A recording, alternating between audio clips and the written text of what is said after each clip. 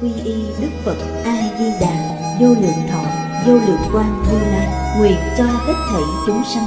Nghe được danh hiệu của ngài đều có được tính tâm kiên cố, nơi bản nguyện siêu thắng và cõi nước cực lạc thanh tịnh trang nghiêm. Con nay quy y pháp môn tịnh độ, tính nguyện trì danh cầu sanh cực lạc, nguyện cho hết thảy chúng sanh đều được họ trì tu tập phương tiện thành Phật tối thắng này. Con nay quy y Đức Quan Thế Âm Bồ Tát, Đức Đại Thế Chí Bồ Tát và Thanh Tịnh Đại Hải chúng Bồ Tát, nguyện cho hết thảy chúng sanh đều phát Bồ đề tâm, sanh về cực lạc, nhập thanh tịnh chúng, chống thành Phật đạo.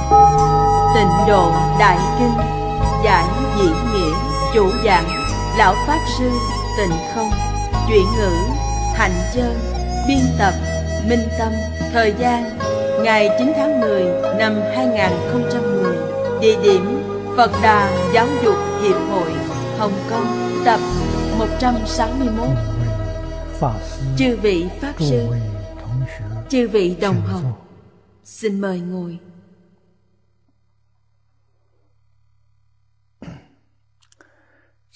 Mời quý vị xem Đại Thừa Vô Lượng Thọ Kinh Giải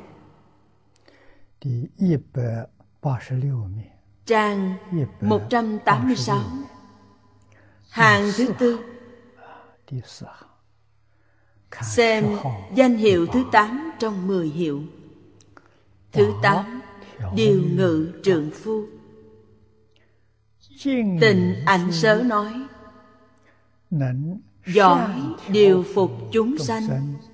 Gọi là điều ngự trượng phu Hợp tán nói Tự mình đã là trượng phu Lại điều phục trượng phu. Nên danh hiệu Phật là Điều ngự trượng phu. Nếu đầy đủ bốn pháp Tức gọi là trượng phu Bốn loại nào? Thứ nhất, thân cận thiện tri thức. Thứ hai, có thể nghe Pháp. Thứ ba, tư duy nghĩa Thứ tư, như thuyết tu hành. Chúng ta xem đoạn này.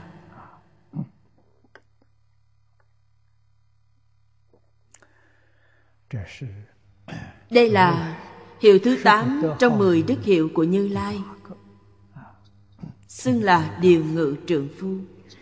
Trong tình anh sớ nói đơn giản sơ lược hơn Giỏi điều phục chúng sanh. Điều phục là giáo hóa. Sâu sắc hơn ý nghĩa giáo hóa. Xuất hiện thành quả giáo hóa. Cũng chính là những chúng sanh được giáo hóa. Đều có thể tâm phục khẩu phục Phục nghĩa là như vậy. Cho thấy đây là điều không đơn giản.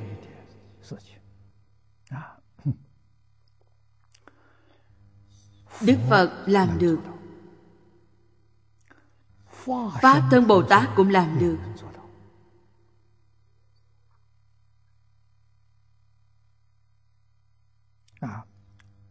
Vì sao các ngài có thể làm được? Trong hợp tán nói rất rõ ràng. Trong hợp tán nói Đầy đủ bốn pháp. Nói như chúng ta bây giờ Là họ đầy đủ bốn điều kiện Cho nên họ có thể làm được. Giáo dục Cần phải thật sự điều phục chúng sanh. Thì giáo dục mới được coi là thành công Chúng ta biết Tâm người vốn thiện. Trong Kinh Hoa Nghiêm Đức Phật nói Tất cả chúng sanh vốn là Phật. Đức Phật dạy chúng ta Tính giải hành chứng. Đối với giáo pháp của Phật Trước tiên chúng ta phải kiến lập tính tâm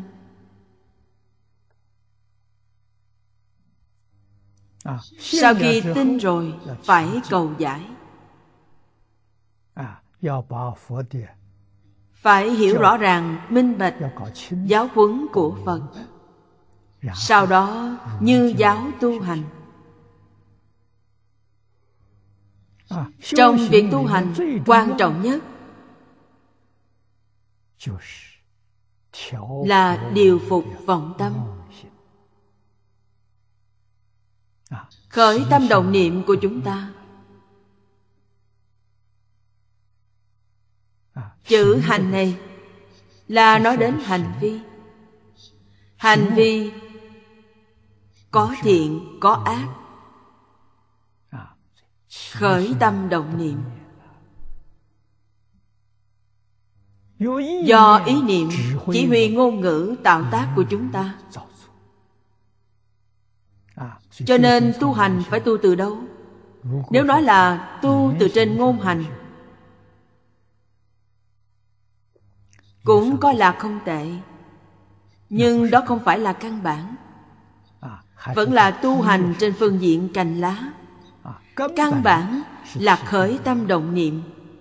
Tu tốt căn bản, thì cành lá tự nhiên tươi tốt. Đây là khẳng định cũng chính là điều phục viên mãn.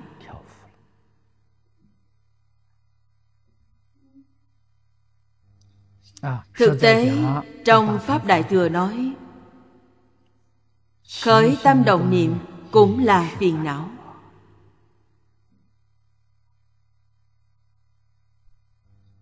Loại phiền não này gọi là căn bản vô minh danh từ này rất có ý nghĩa. Nên gọi là tư nghĩa. Vô minh. Minh là thấu hiểu. Vô minh là hiện tại không thấu suốt. Không thấu suốt điều gì? không hiểu rõ bản thân. Điểm này chúng ta phải đặc biệt lưu ý. đặc biệt là dạy học của phật pháp đại thừa. Nó dạy điều gì?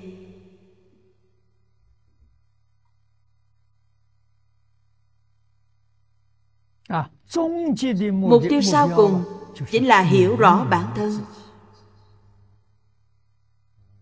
Dạy học như vậy là phiên mãn. Bản thân là gì? Mấy người có thể nhận thức? Mấy người có thể nói ra được? Đừng nói phàm phu chúng ta không nói ra được Mà Phật Bồ Tát trong mười Pháp giới cũng không nói ra được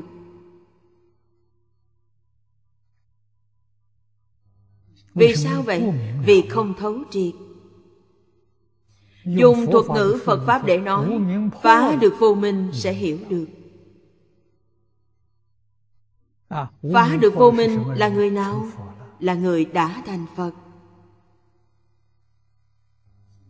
trong nhà phật thường nói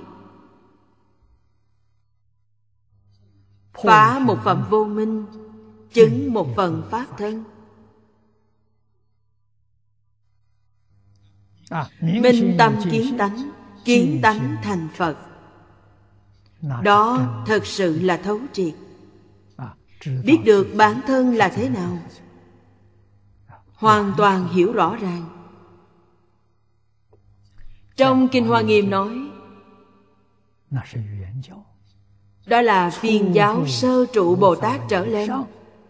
Thực sự rõ ràng minh bạch. Đó chính là điều phục viên mãn. Ai điều phục họ là như lai dạy họ. Cho nên như lai gọi là trượng phu đại trượng phu. Tự mình gọi là trượng phu. Lại có thể điều phục trượng phu.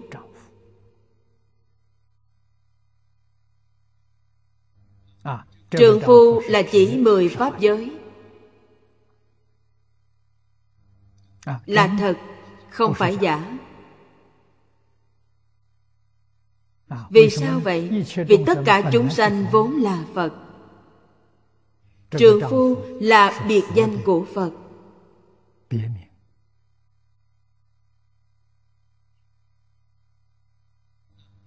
Là vì họ mê thất tự tánh. Mê mà không giác. Tự tánh của họ có mất không? Không mất. Chư vị nên nhớ là mê thất.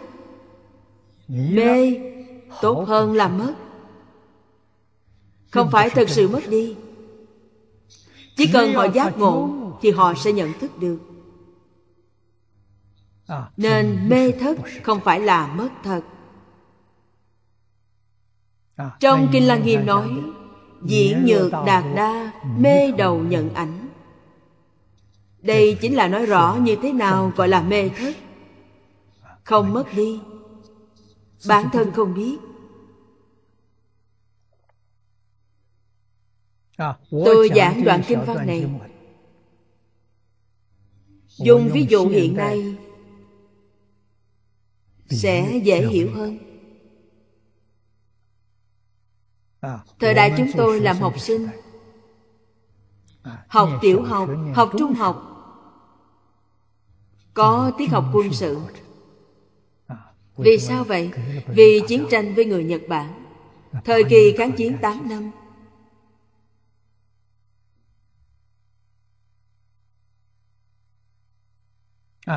Tiểu học lớp 5, lớp 6 là học sinh cuối cấp Phải học quân sự Tiếp thu huấn luyện.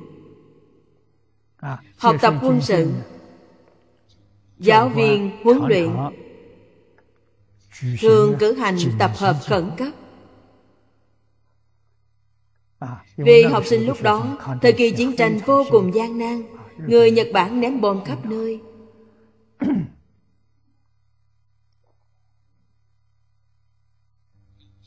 Tôi nhớ lúc học tiểu học.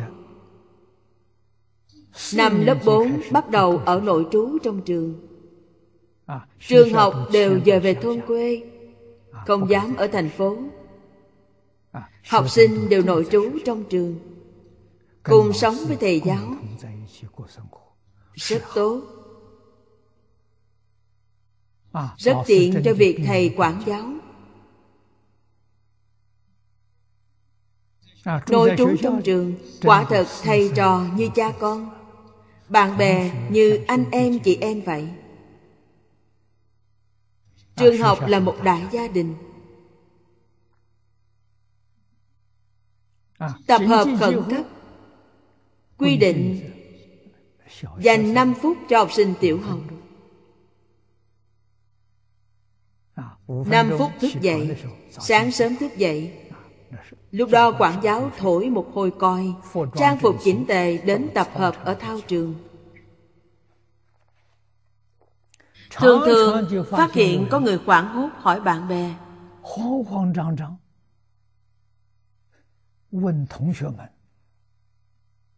Mũ tôi đâu không tìm thấy. Không đội mũ là không được. Hỏi khắp nơi, Các bạn có thấy mũ của tôi đâu không? Các bạn học chỉ vào người này. Mũ không phải đang đội trên đầu bạn sao? Sờ lên trên đầu, quả là đang đội trên đầu. Mũ có mất chăng? Không mất. Vì mê nên bản thân tưởng là mất. Cứ tìm khắp nơi nhưng không thấy. Đây chính là diễn nhược đạt đa, Mê đầu nhận ảnh. Tình hình giống nhau, nên gọi là mê thất. Không mất đi, Chỉ là mê nên không biết. Cũng giống như mất đi vậy. Lục đạo, mười pháp giới đều là tình hình này. Tìm lục đạo khắp nơi cũng không tìm thấy. Tuy không tìm tứ thánh pháp giới Biết là có nhưng không hưởng thụ được. Vì sao vậy? Họ biết có Là Phật nói với họ có. Nhưng họ không cảm nhận được họ có thật. Vì sao vậy? vì trí tuệ vô lượng đức năng vô lượng tướng hảo vô lượng trong tự tánh. Thọ không được thọ dụng. Chư vị nên biết phật trong mười pháp giới chưa khai ngộ? sự khai ngộ này trong nhà phật thường nói là đại triệt đại ngộ minh tâm kiến tánh phật bồ tát trong mười pháp giới đều không có. Ngộ của họ là giải ngộ. Ngày nay chúng ta đọc kinh nhiều xem nhiều. Trường thời quân tu. nhất môn thâm nhập trường thời quân tu. Tuy chưa khế nhập cảnh giới nhưng nghe giáo huấn của phật bồ tát và chư vị tổ sư đại đức.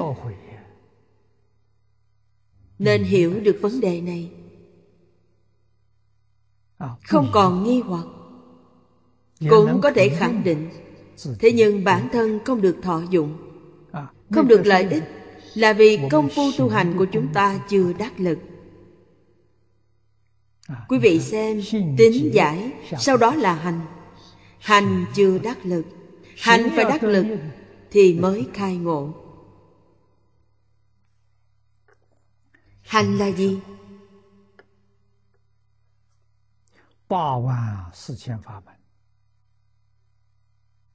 Mấu chốt tu hành chung của 8 vạn 4 ngàn pháp môn.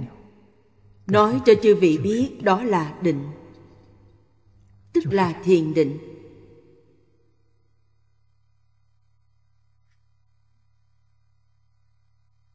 Dạ, vâng.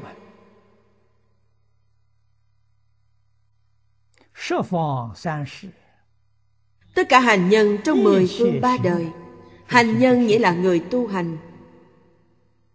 Đệ tử Phật.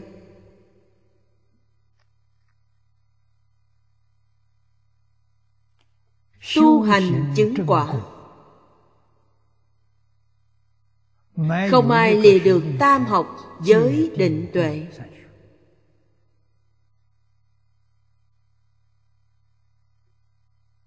À, lơ là giới định tuệ. thì nhiều nhất chỉ được giải ngộ. giải không có hạnh. rất nhiều quan niệm. Ta thường lãnh hội sai lầm. vì sao vậy? những sai lầm này là vì ta không thông qua tu hành. Thông qua tu hành sẽ hiểu được.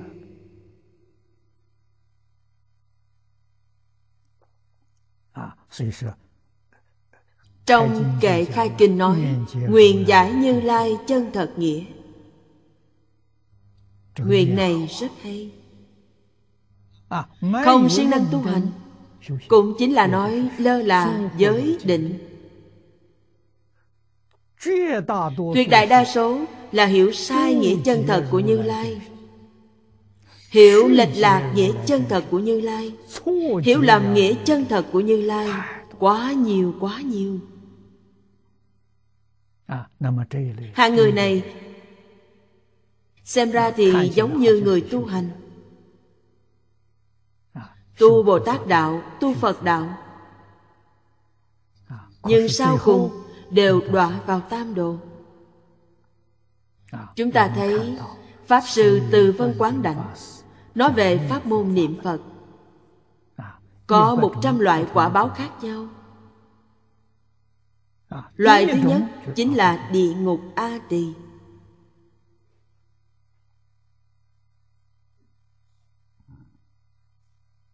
Tự cho mình hơn người như vậy không được. Nhà ngữ ngày xưa có câu nói rất hay. Không nghe lời người đi trước Thiệt thòi ngay trước mắt. Người đi trước là Phật Bồ Tát. Tổ sư Đại Đức.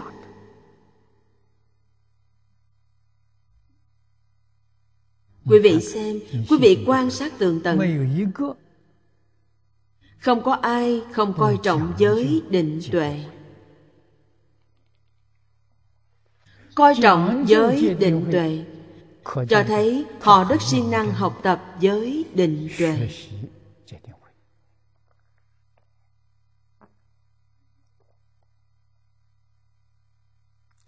giới trong phật giáo.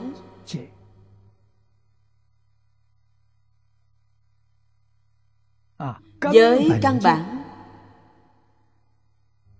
là thập thiện nghiệp đạo.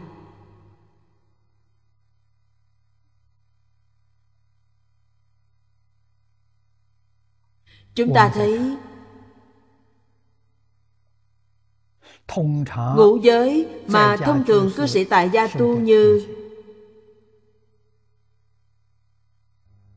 sát đạo dâm vọng, giới sa di, giới tỳ kheo với bồ tát của người xuất gia. Mới bắt đầu cũng là sát đạo dâm vọng. Sát đạo dâm vọng bắt đầu từ thập thiện cho đến giới bồ tát.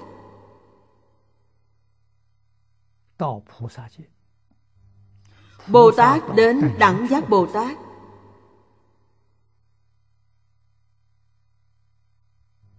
Đều phải tuân thủ.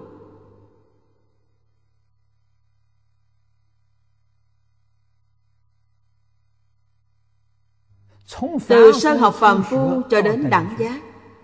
Mấy giới này vô cùng quan trọng. Điều này cần thời gian rất dài. không phải chúng ta có thể tưởng tượng được quá dài.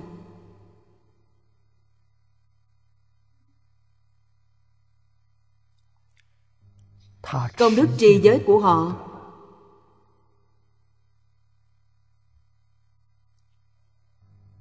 Từng bước từng bước nâng cao lên. chúng ta chỉ có thể lý giải được nhân thiên có thể tưởng tượng được. Giống như công đức trì giới của pháp thân bồ tát. chúng ta không thể tưởng tượng được.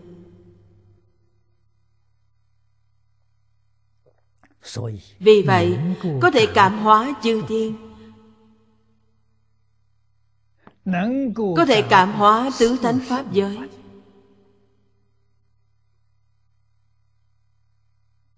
Đẳng giác bồ tát có thể cảm hóa thập địa bồ tát. Ở trên là tấm gương của chúng ta là mô phạm của chúng ta. Chúng ta phải học theo họ. Mỗi một giới đến minh tâm kiến tánh mới được coi là viên mãn. Chưa đến kiến tánh là chưa viên mãn nếu như cho điểm thì chưa đủ 100 điểm, luôn thiếu mấy điểm. Đến minh tâm kiến tánh thì mới viên mãn, tức là 100 điểm. Đẳng giác bồ tát 99 điểm, còn thiếu một điểm. Thập địa bồ tát thiếu hai điểm. Cửu địa bồ tát thiếu ba điểm. Tôi nói như thế này thì quý vị sẽ có khái niệm.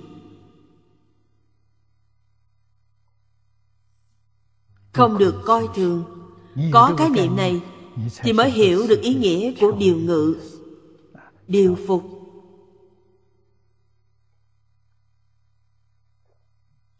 Chúng ta mới biết ở đây phải thật sự tinh tấn nỗ lực biết được bản thân chưa đủ còn kém xa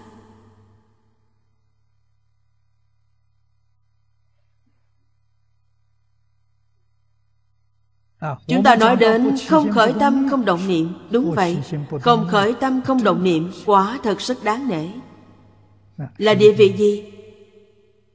Chính là sơ trụ bồ tát. Trên sơ trụ còn 41 địa vị sơ trụ là không khởi tâm không động niệm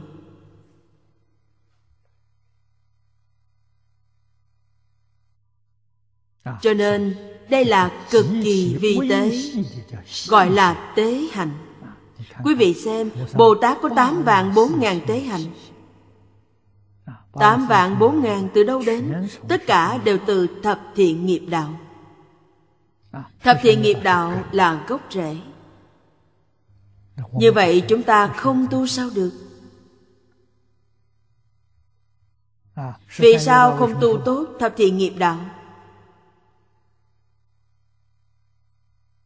đây là điều chúng ta không thể không suy nghĩ. Vấn đề này quá lớn. Tại gia học phật không tu hành tốt thập thiện nghiệp đạo. Xuất gia học phật không thực hành tốt sa di luật nghi. Như vậy là sao? Đó là giả không phải thật. Trong pháp thế gian mà không nỗ lực tu hành đều không thể thành tựu. Huống gì phật pháp phật pháp thuần chân vô vọng. Điều đầu tiên là nói với ta về chân thành. Tu không tốt, thập thiện nghiệp đạo, cũng không thể trách người khác, không có ai dạy. Hiện nay trong phật giáo, ai dạy thập thiện nghiệp đạo? Ở đài loan còn có một vài pháp sư. Đôi khi giảng kinh thập thiện nghiệp đạo nhưng chỉ nói mà thôi không có thực hành. Người nghe không y giáo phụng hành bản thân người giảng cũng không hành trì. Quý vị nói như vậy sao được?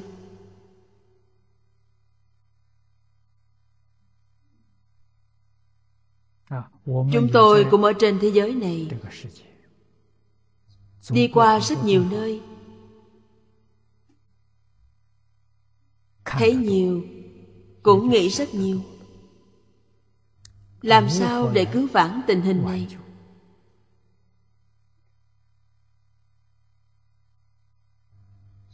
Vì thế liền nghĩ đến cổ nhân. Dùng nho đạo để hỗ trợ thập thiện nghiệp đạo khiến thập thiện nghiệp đạo có nền móng vững chắc. Chúng ta liền nghĩ đến đệ tử quy của nho giáo cảm ứng thiên của đạo giáo. Mới tìm được ba nền tảng của nho thích đạo. phải bắt đầu tu từ đây. Phải y theo đó mà tu hành nếu tinh tấn tu hành căn bản học phật sâu dày. trong thuật ngữ phật giáo gọi là thiện căn sâu dày. Nếu không thực hành thì không có thiện căn. Không có thiện căn nên niềm tin của ta đối với phật pháp.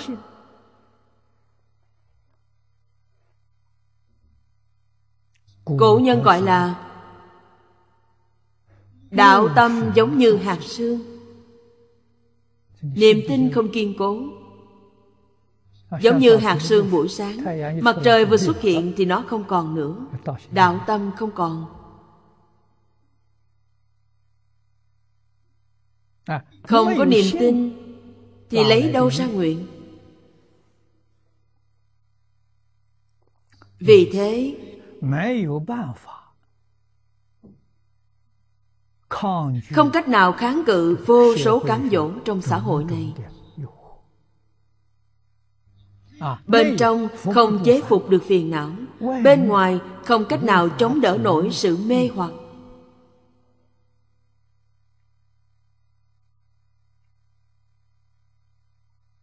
Chỉ có cái danh học phật.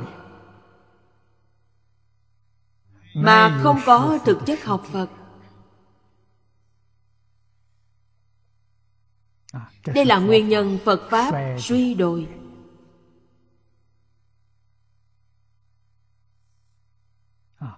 Hiện nay phật pháp suy yếu đến cùng cực.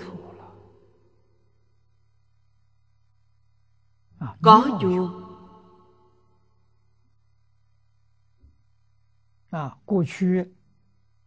trước đây thầy lý bỉnh nam thường nói có chùa không có đạo không thể hương giáo. Muốn khiến cho phật giáo hương khởi, không làm được. Phật giáo hương khởi thì cần có người. Người tu giới định tuệ chân chánh, có thể phục hưng phật giáo. Người xa rời giới định tuệ, không nghiên cứu kinh giáo, họ không thể hưng khởi phật giáo được. Vì sao vậy? Vì họ nói được, dạy được, có thể trước tác rất nhiều, nhưng hai chữ điều ngự họ không làm được.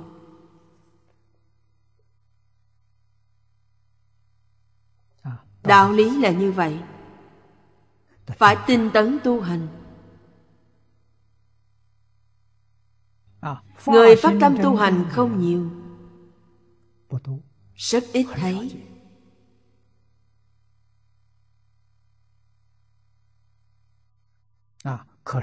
Nhưng Trung Quốc. Có 13 ức nhân khẩu.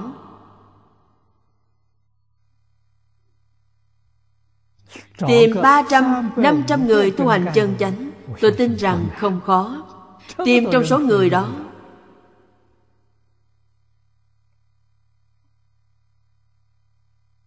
Tìm người thật sự phát đại tâm. Thật sự buông bỏ cái ta Tôi học Phật. Có nhân duyên thân cận Đại sư Chương Gia. Đại sư dạy tôi rất đơn giản Nhìn thấu buông bỏ. Nhìn thấu là gì? Thấy rõ ràng, thấy minh bạch.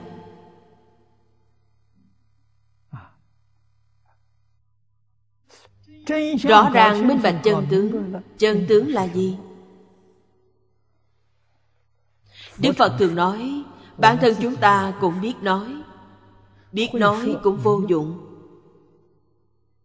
Đức Phật nói với chúng ta Phàm sở cửu tướng giai thị hư vọng. Chúng ta ở trong hư vọng này như thế nào? Coi nó là thật. Không cảm thấy nó là hư vọng. Coi nó là thật hơn người khác. Như vậy thì hết cách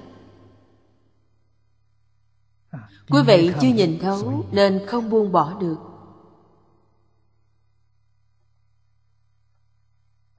Đại sư dạy cho tôi như vậy Vì sao không buông bỏ được? Vì họ chưa nhìn thấu. Vì sao chưa nhìn thấu? Vì họ không buông bỏ được. Rắc rối là ở đây. Cửa ải đầu tiên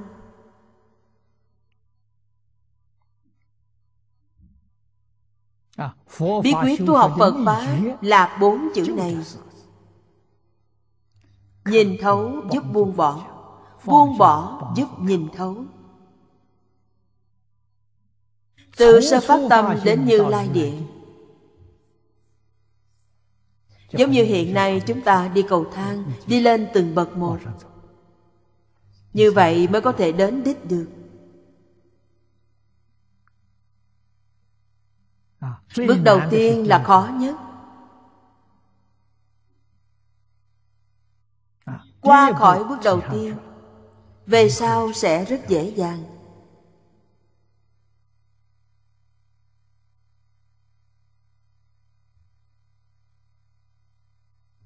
Chúng ta bây giờ đã đến được bước thứ nhất chưa? chưa. Vì sao? vì khi đến được bước đầu tiên chính là tu đà hoàng của tiểu thừa. Trong đại thừa chính là bồ tát sơ tính vị 51 địa vị của Bồ Tát. Thập tính là tiểu học. Sơ tính là lớp một tiểu học. Quý vị là đệ tử Phật chân chánh. Ở trên địa vị này Danh từ Phật giáo gọi là tiểu thánh. Tiểu thánh trong tiểu thánh. Thập tính là tiểu thánh. Quý vị là sơ tính thấp nhất trong thập tính vị Tức tiểu tiểu thánh. Tiểu tiểu thánh đã là rất tuyệt vời rồi. Họ không phải phàm phu. Vì sao vậy? Vì họ thật sự nhìn thấy Đã nhìn thấu Biết được tất cả cảnh giới trong thế gian này Đều là giả không phải thật. Nhìn thấu nên không còn chấp trước thân này là ta. Tiểu tiểu thánh đã vô ngã.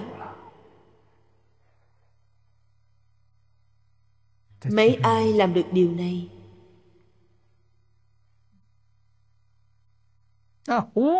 vô ngã sẽ không đối lập với người. buông bỏ thân kiến. buông bỏ biên kiến. Biên kiến nghĩa là khái niệm của đối lập.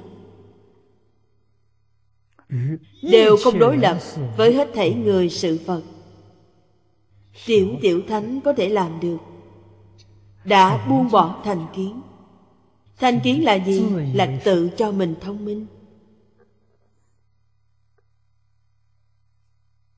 Bất luận là thật hay là giả, là thiện hay là ác, là tà hay là chánh, đều không quan tâm. Không còn kiên trì.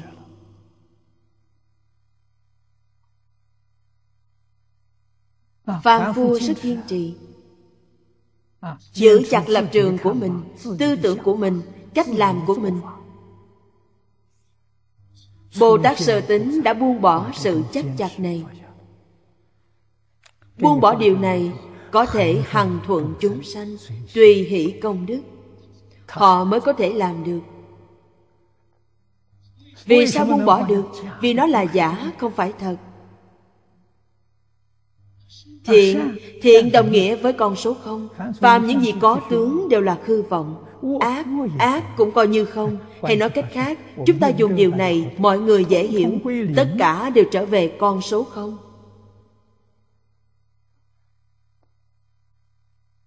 Đây là Bồ Tát sơ tính vị. Bởi thế Tất cả những quan niệm bất chánh đều không có đây là bồ tát sơ tính vị. Mặc dù họ chưa ra khỏi lục đạo lục đạo phải đoạn tận kiến tư phiền não. Họ chưa đoạn được. Họ chỉ đoạn kiến phiền não, chưa đoạn được tư phiền não. Nhất phẩm đều chưa đoạn. Nhưng tuyệt đối không đọa ba đường ác nữa. Đồng nghĩa, họ có được sự bảo chứng bảy lần lùi tới cõi trời cõi người. Bảy lần đến và đi. Họ liền vượt khỏi luân hồi lục đạo chứng quả a la hán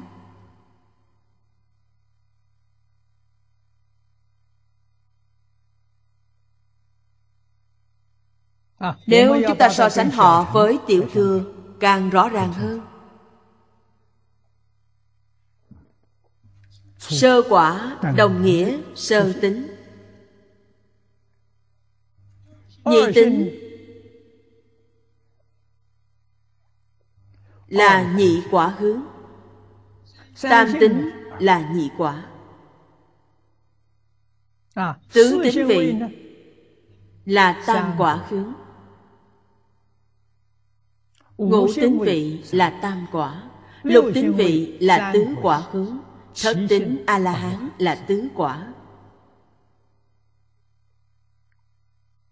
Bát tính là Bích Chi Phật Cửu tính là Bồ Tát Thập tính là Phật. Đây là Phật trong mười Pháp giới. Lên cao hơn nữa là minh tâm kiến tánh. Lên cao nữa là phá được vô minh cũng nghĩa là nói sáu căn trong cảnh giới lục trần thực sự làm được không khởi tâm không động niệm.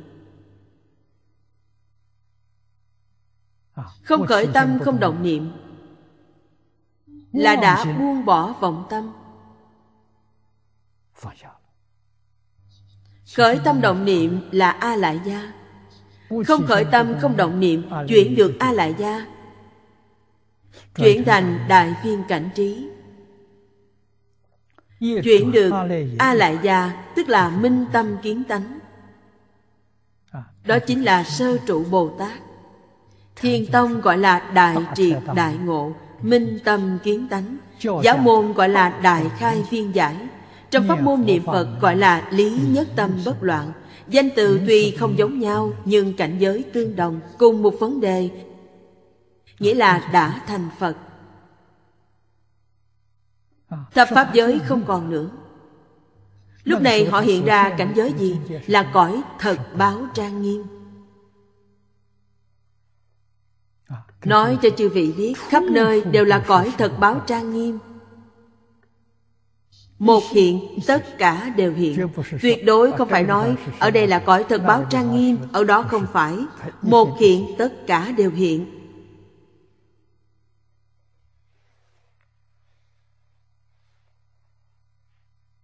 Chúng ta có cảm Họ liền có ứng Chúng sanh lục đạo cảm Họ liền ứng đến lục đạo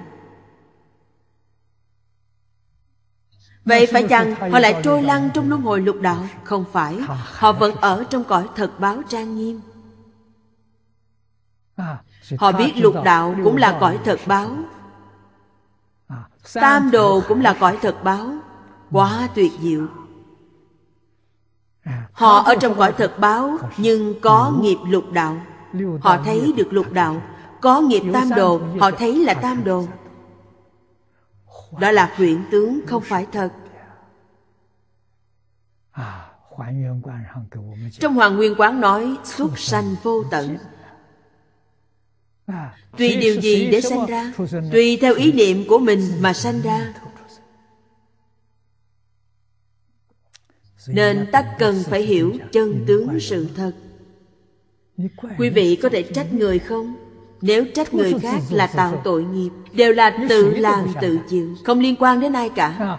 Không liên quan đến chư Phật Bồ Tát. Không liên quan đến Thượng Đế. Không liên quan đến thần, Cũng không liên quan đến Vua Diêm La. Tất cả cảnh giới Đều là do ý niệm mình biến hiện ra cho nên Đức Phật nói cho chúng ta biết về quá trình thứ tự của việc tu hành biến hiện ra cảnh giới không giống nhau. Câu nói xuất sanh vô tận đã thức tỉnh chúng ta. Quý vị xem Ý niệm quan trọng biết bao Tuyệt đối không được có vọng niệm. Niệm niệm phải tương ưng với tánh đức. Tánh đức là gì? Là trí tuệ Đạo đức Luân lý Nhân quả Đây là tánh đức. Các bậc thánh hiền nói Hiếu đệ trung tính Lễ nghĩa liêm sĩ Nhân ái hòa bình Là tánh đức. Đức Phật nói cho chúng ta về thập thiện. Ngũ giới Lục ba la mật Phổ hiền thập nguyện Là tánh đức. Chỉ cần ta quay đầu Khởi tâm động niệm nhất định tương ưng với tánh đức. Khởi tâm động niệm này là tự tánh sanh ra. Pháp vốn như vậy Có khái niệm của chính mình không? Không có. Giống như là tự nhiên. Nó phát sanh ra như thế nào? Chúng sanh có cảm Bản thân liền ứng. Chúng sanh cảm có tâm Cũng có vô tâm. Vô tâm cũng có thể cảm Minh cảm Phật Bồ Tát ứng Bất luận là hiện ứng hay minh ứng Đều không có khởi tâm động niệm. Pháp nhĩ như thị. Pháp vốn chính là như vậy Cho nên Pháp được gọi là Pháp vi diệu.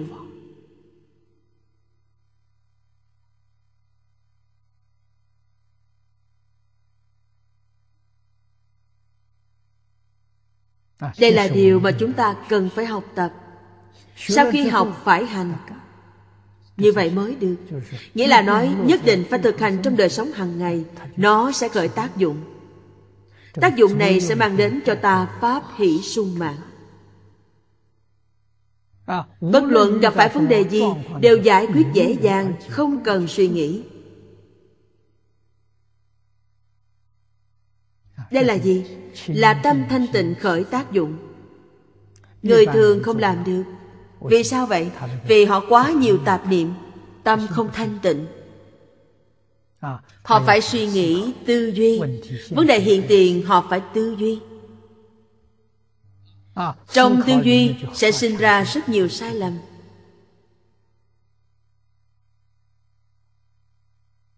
À, Đây là gì? Là tri thức. Chúng ta thường nói tri thức. không thể giải quyết vấn đề. Vì sao vậy? Vì tri thức là vọng tưởng. Trí tuệ có thể giải quyết vấn đề. Trong trí tuệ không có vọng tưởng. à, Tâm thanh tịnh, sanh ra trí tuệ.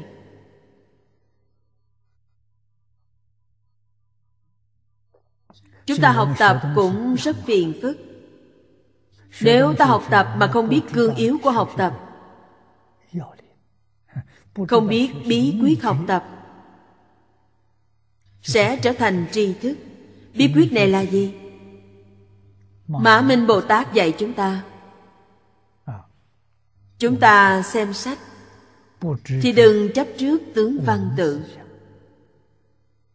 Không chấp trước tướng danh tự. Danh từ thuật ngữ. Điều này thực tế mà nói Là nên như vậy. Nhưng quan trọng nhất là câu thứ ba.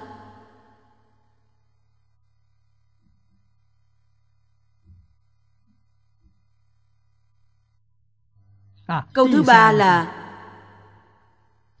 Ấn tượng của ta rơi vào trong A Lại Gia Điều này rất phiền phức.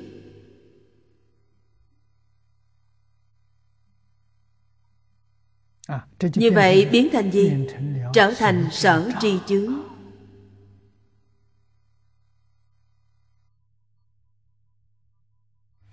Gọi là tướng tâm duyên Quý vị xem có tướng tâm duyên Thì tâm thanh tịnh không còn. Quý vị phải biết rằng Chấp trước ngôn thuyết và danh tự Tâm sẽ bị ô nhiễm. Danh tướng tâm cũng bị ô nhiễm Nhiễm không nghiêm trọng. Ô nhiễm nghiêm trọng nhất Chính là ý thức.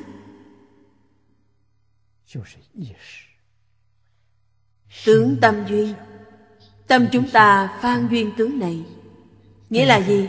Bản thân chúng ta hiểu được tư tưởng gì? Ta nhận ra đây là ý gì? Chúng ta không biết. Kinh này không có ý nghĩa. Sao ta lại thấy có ý nghĩa? Đức Phật là từ không có ý nói ra. Sao ta đọc rồi lại có ý? Ý đó không phải là ý của Phật, Mà là ý của chính mình. Đây là điểm khó nhất của Phật Pháp. Không được dùng tướng tâm duyên. Vậy chúng ta có cần ngày ngày xem kinh không? Cần Chúng ta ngày ngày xem kinh Ngày ngày tụng kinh Ngày ngày nghe giảng kinh Có biết chăng? Quan hệ ở cái biết này Khi biết chúng ta ở đây là tu thiền định. Tu tâm thanh tịnh Tu gì? Tu không chấp tướng. Nghe kinh không chấp trước tướng ngôn thuyết. Không chấp trước tướng danh tự Không chấp trước tướng tâm duyên. Chúng ta ở đây nghe kinh. Nghe như vậy thì sao? Nghe như vậy trí tuệ hiện tiền Kinh của Phật, ngôn ngữ của Phật Khiến trí tuệ bát nhã trong tự tánh của chúng ta xuất hiện Nếu chúng ta chấp tướng Thì trí tuệ liền bị chướng ngại. Chướng ngại này gọi là sở tri chướng. Tham sân si mạng. là phiền não chướng. Đây là hai chướng. Đức Phật Thích Ca Mâu Ni đã biểu diễn cho chúng ta thấy. 19 tuổi Ngài ra đi tham học Học suốt 12 năm. Sau cùng như thế nào? Buông bỏ triệt để. Ngài mới có thể nhập định Mới có thể đại triệt đại ngộ Dụng ý này rất sâu. Có cần học chăng? Cần học, Nhưng phải biết cách học. Phải trong lúc học tập. Người Đông Phương nói, Phật Pháp nói, Về sao Nho và Đạo giáo đều nói, Ngộ tánh. Trong học tập, Làm sao để khiến ngộ tánh phát khởi ra? Một nghe ngàn ngộ. Nghe một, biết mười đó là trí tuệ. Như vậy mới hữu dụng.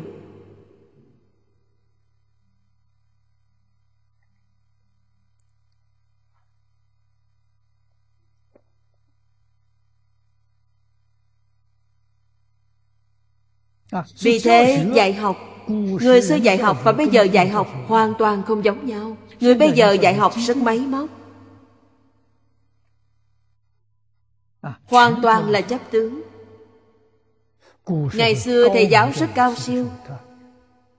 Họ phản đối không dùng phương pháp này. À, Tôi ở Đài Trung theo học kinh điển với thầy Lý 10 năm. Thầy không cho chép bài.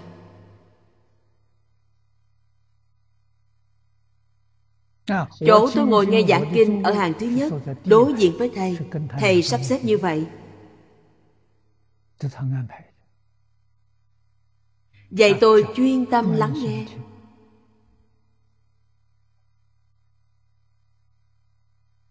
Những gì hay phải ghi chép lại vì sợ quên. Không cần thiết. Trong tự tánh ta có. Trong lúc nghe kinh tu tâm thanh tịnh. Quý vị xem Kinh giáo đã khắc sâu ấn tượng cho chúng ta. Trong tự tánh chúng ta có kinh Kinh vô lượng thọ. Trong tự tánh ta có kinh vô lượng thọ. Không có gì khác biệt với vô lượng thọ Phật. Quý vị có tin trong kinh nói, Tâm tôi tức Phật A-di-đà. Phật A-di-đà tức là tâm tôi. Nếu như tin, Ta không cần chấp trước. Thật sự buông bỏ. Buông bỏ trí tuệ liền hiện tiền. Không buông bỏ là tri thức. Những gì ta có được toàn là tri thức. Tri thức có giới hạn.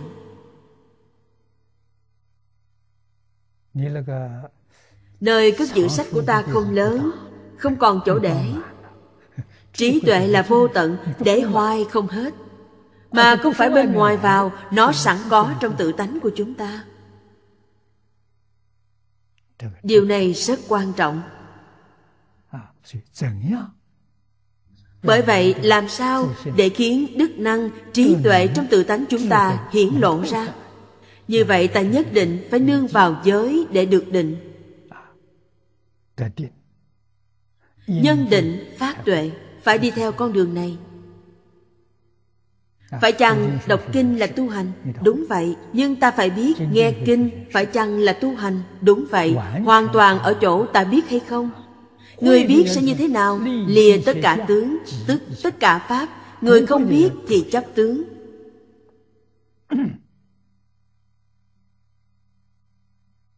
Người biết rất ít, Người không biết thì rất nhiều.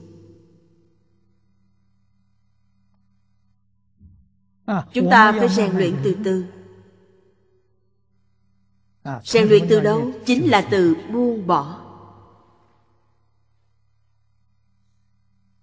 Nỗ lực học tập lại không chấp tướng. Như vậy là như Pháp. Nếu thật sự buông bỏ tất cả Cũng không học Như vậy thì không có việc gì thành tựu. Vì sao vậy? Vì ta chưa thật sự buông bỏ. Buông bỏ thật, liền khai ngộ. Vậy sao? Không phải học thật. Tôi thật sự buông bỏ. Ta buông bỏ mà chưa buông bỏ. Trong tâm ta còn có tôi đã buông bỏ tất cả. Như vậy là chưa buông bỏ. Buông bỏ điều này thì mới có thể khai ngộ. Nhưng ta vẫn còn.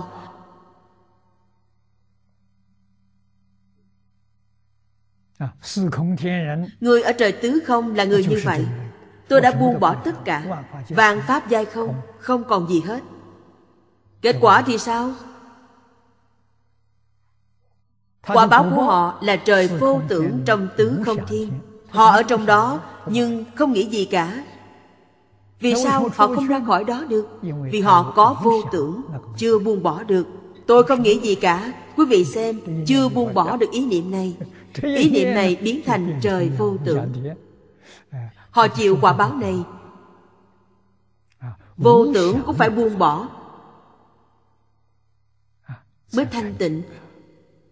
Điều này rất khó Vô cùng khó khăn. Trong Pháp Đại Thừa nói Không lập nhị biên, không giữ trung đạo. Không lập nhị biên nghĩa là trung đạo. Ta chấp trước trung đạo Vẫn chưa buông bỏ Vì thế phàm phu không phải chấp trước có Cũng không chấp trước không Không chấp trước nhị biên Lại xuất hiện trung đạo. Không buông bỏ được.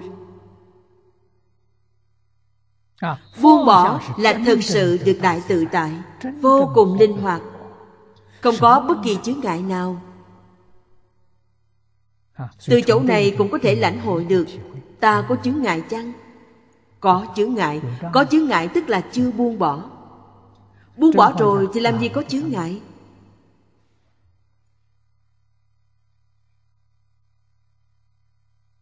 Từ đó cho thấy giới định tuệ quan trọng biết chừng nào.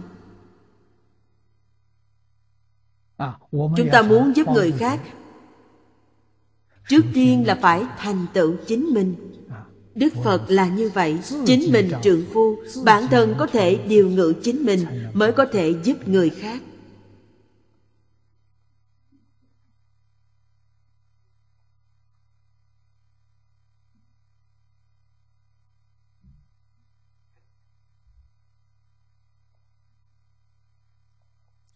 Điều là đối với tâm mà nói Khởi tâm động niệm Là nói về điều này Ta có thể điều khởi tâm động niệm. Phân biệt chấp trước. Ngự là từ trên hành vi mà nói. Ta có thể khống chế được ngôn ngữ tạo tác. Không bị bên ngoài làm ảnh hưởng.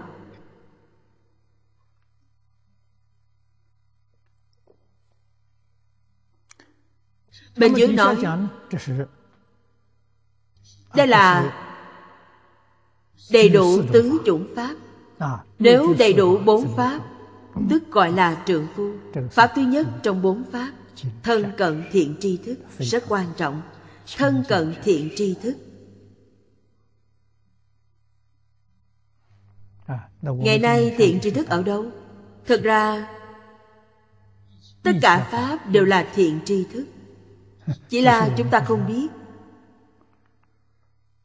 Pháp nào không phải là thiện tri thức? Vấn đề là chỉ cần ta có thiện Ta mới biết tri thức. Bản thân ta không có chữ thiện này Thì không có cách nào khác.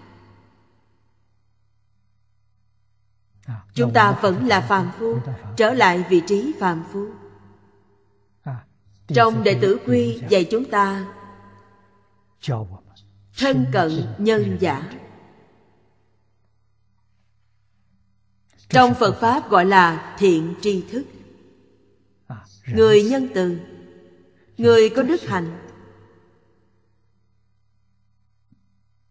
Người có học vấn.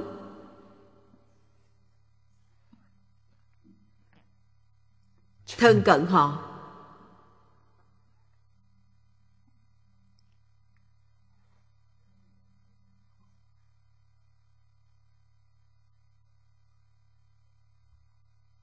Học tập theo họ. Trong hoàn cảnh hiện nay không tìm thấy thiện tri thức. Phải làm sao? Trương tá của chư thiện tri thức vẫn lưu lại thế gian. chúng ta tìm trước tác của họ là được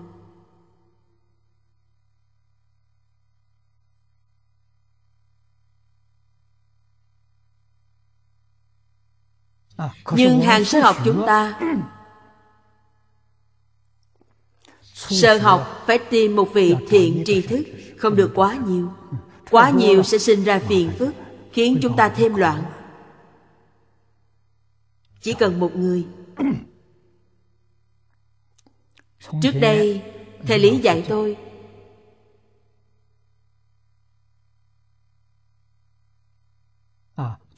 Ban đầu Thầy dạy tôi theo thầy. Cho tôi ba điều kiện. Tôi đến Đài Trung tìm thầy. Nói rõ, tôi rất muốn học với thầy. Làm học trò của thầy. Thầy đưa ra cho tôi ba điều kiện. Điều kiện thứ nhất, Lúc đó tôi đã học Phật. Học được mấy năm? Hình như tôi học Phật năm 26 tuổi. Tôi đến thân cận Thầy vào năm 30 tuổi. Được 5 năm. 30 tuổi. Theo học với Thầy năm 30 tuổi. Thầy nói sở học trước đây của anh. Bất luận là học với ai, Bao gồm học với Thầy Phương và Chương gia Đại sư, Tôi đều không thừa nhận thầy nói với tôi thầy không thừa nhận. Anh đến đây học cũng được nhưng tất cả phải học lại từ đầu. Trước đó không tính. Đây là điều kiện thứ nhất. Điều thứ hai anh đến đây học. Chỉ được nghe mình tôi giảng kinh dạy học. Chỉ nghe một người thầy ngoài ra bất luận là đại đức xuất gia hay tại gia giảng kinh anh đều không được nghe. Không được phép. Điều thứ ba bắt đầu từ hôm nay những sách vở anh xem. Bất luận là kinh sách hay các sách thông thường khác chưa được tôi đồng ý đều không được xem. Tôi nghe nói như vậy cảm thấy ông thầy này quá ngang tàn giống như trong mắt không có ai vậy. Vì sao lại hạn chế nghiêm khắc như vậy?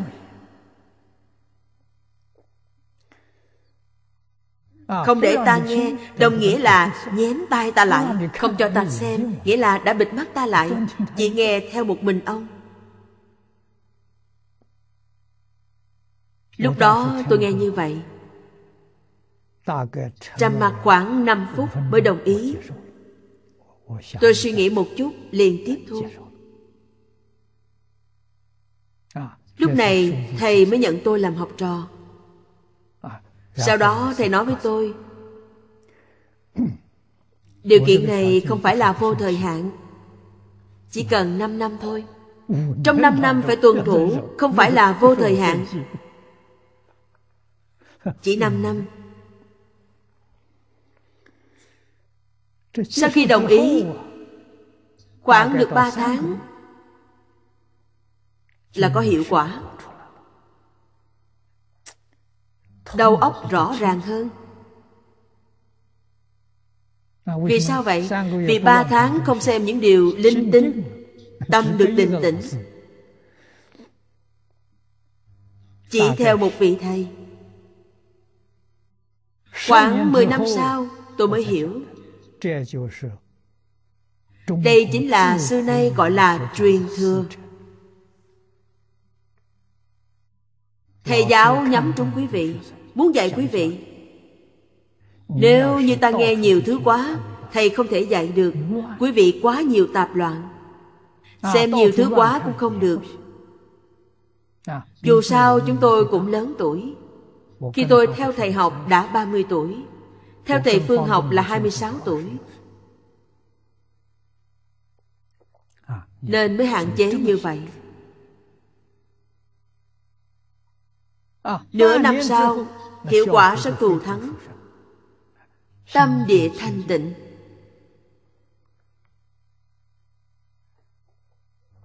Hình như có chút trí tuệ. Có thể nghe hiểu những gì thầy nói, Xem sách cũng hiểu được. Thời gian 5 năm đã hết. Tôi thưa với thầy. Thầy ơi Phương pháp này em muốn tiếp tục thêm 5 năm nữa. Thầy nghe vậy mỉm cười.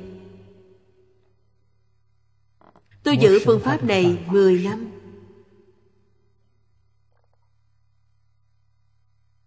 Đây là gì?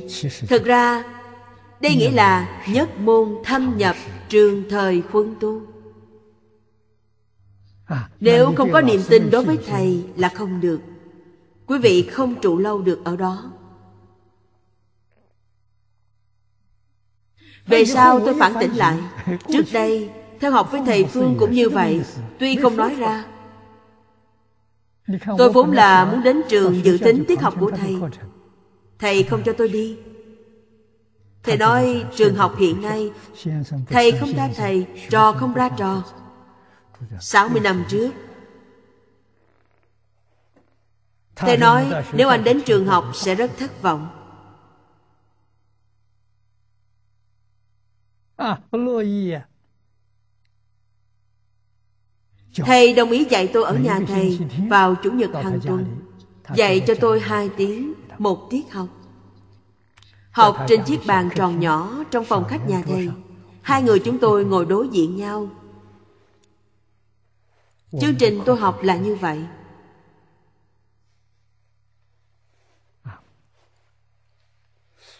Tôi với thầy chưa từng quen biết Không có mối quan hệ nào. Tôi là mộ danh thầy Nên tự viết thư giới thiệu mình. Khi gặp mặt Nói đến sau cùng kết luận Là Chủ nhật hàng tuần dài hai tiếng tại tư gia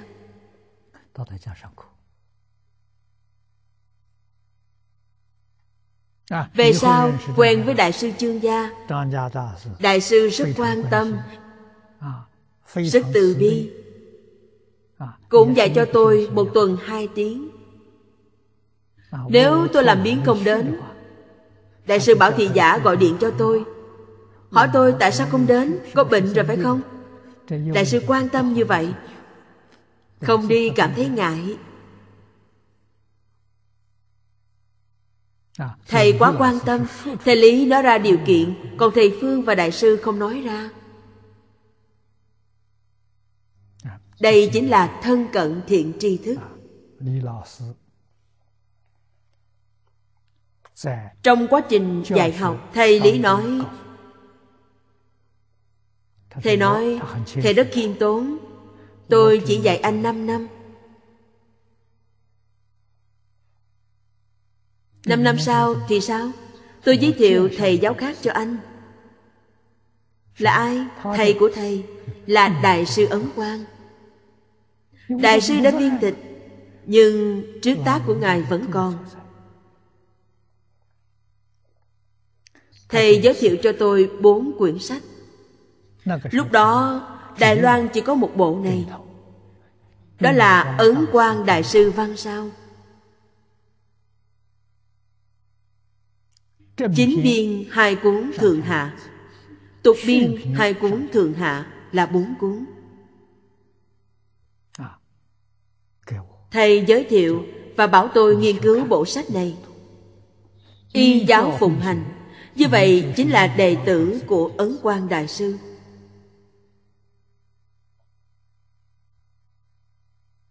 Thầy nói với tôi Đây là một vị thiện tri thức lớn thời đương đại Thầy học pháp môn tịnh độ với Đại sư Ấn Quang. Nên sự truyền thừa của chúng tôi là từ Đại sư Ấn Quang.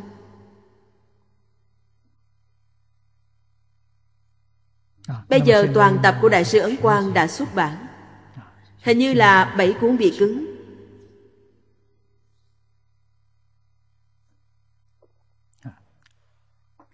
Thân cận thiện tri thức rất quan trọng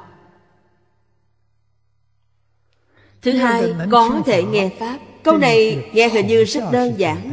Thật ra. Không đơn giản đâu.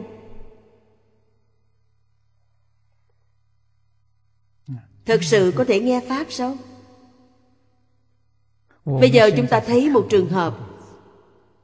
Đó là bà Lưu Tố Vân. Bà có thể nghe Pháp.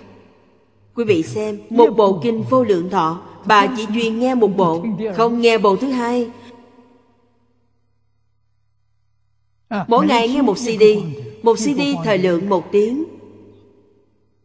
Nghe lặp đi lặp lại 10 lần CD này.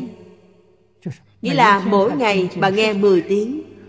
10 tiếng là một đĩa CD nghe 10 lần. Quả đúng gọi là trường thời quân tu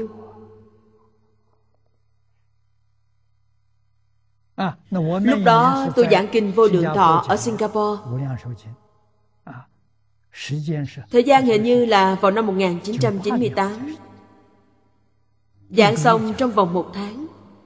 À, Mỗi ngày hai tiếng Một tháng giảng xong 60 tiếng đồng hồ. Nhanh chóng lưu thông đến Trung Quốc. À, 60 ngày nghe hết một bộ kinh. À, Đều là mỗi ngày nghe 10 tiếng. Nghe xong nghe lại từ đầu vẫn là mỗi ngày một CD 10 tiếng đồng hồ, Nghe suốt 10 năm. Đây gọi là có thể nghe Pháp. 10 năm nay, Chúng ta không biết công phu của bà, Nhưng có thể lãnh hội được, Bà đã đạt được tâm thanh tịnh. Tâm thanh tịnh, sanh trí tuệ.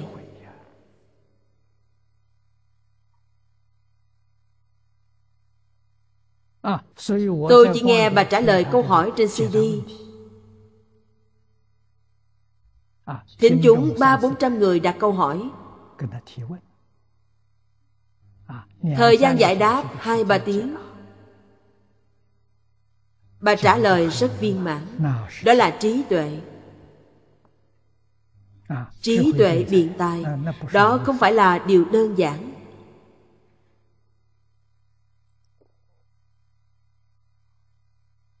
Nghe kinh phải nghe như thế.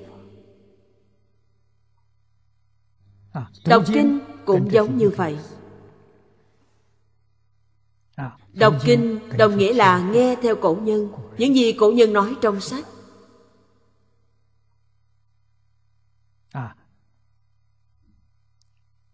Khi nghe hiểu được ý nghĩa Muốn không nghe cũng không thể. Đây là pháp vị Cổ nhân nói Thế vị gian sao đậm bằng pháp vị?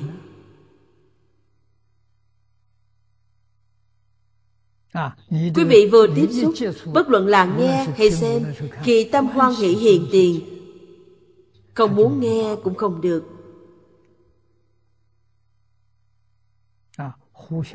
Hồ Tiểu Lâm báo cáo. Ông. Ta nói hiện nay ông ta đọc kinh mỗi ngày 12 tiếng. Quên hết. Đến cả ăn cơm uống nước Đi nhà vệ sinh cũng quên. Truyền chú Pháp hỷ sung mãn. Ông nói với chúng tôi, Mỗi ngày ông bắt đầu tụng kinh vào 8 giờ rưỡi sáng Đến 8 giờ rưỡi tối. 12 tiếng. Ông đã thực hành được câu nói này. Câu trước cũng đã làm được Hai câu. Tư duy nghĩa.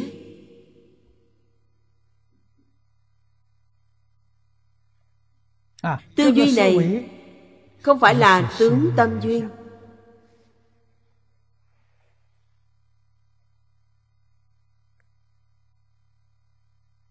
Vừa nghe lập tức hiểu nghĩa.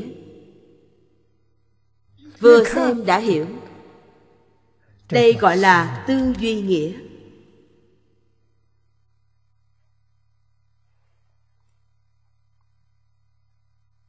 Câu sau cùng rất quan trọng.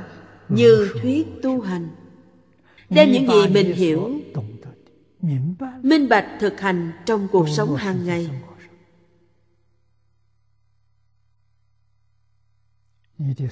Cuộc sống sẽ hạnh phúc mỹ mãn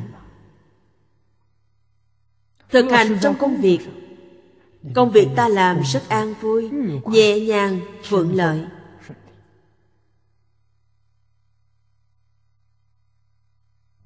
Thực hành trong đời sống hàng ngày. như đối nhân xử sự tiếp vật.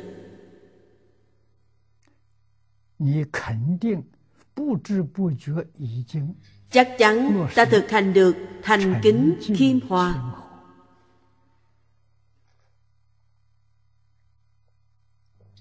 đúng là một cuộc đời hạnh phúc mỹ mãn.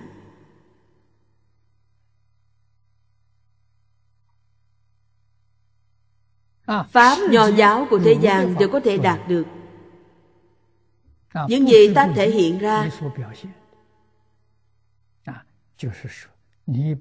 Nghĩa là nói những đức mục của Thánh Hiền Ta đều biểu hiện ra Đều làm được. Hiếu để trung tính lễ nghĩa liêm sĩ, nhân ái hòa bình. Quân tu thời gian dài sẽ thành công.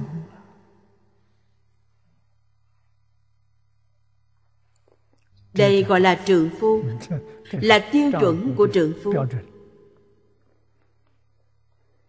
Hồi sớ lại nói, đầy đủ lực dụng của đại trượng phu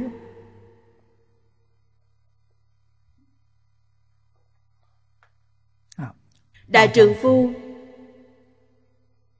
là pháp thân bồ tát. Cũng chính là lời người xưa nói minh tâm kiến tánh kiến tánh thành phật. Nho giáo gọi là thánh nhân. Trượng phu là hiền nhân thêm vào chữ đại là thánh nhân. Trong phật pháp thêm vào chữ đại là phật không có đại là bồ tát. Lực dụng của đại trượng phu. Lực là thập lực. Tứ vô sở úy. Mà nói chủng chủng các pháp.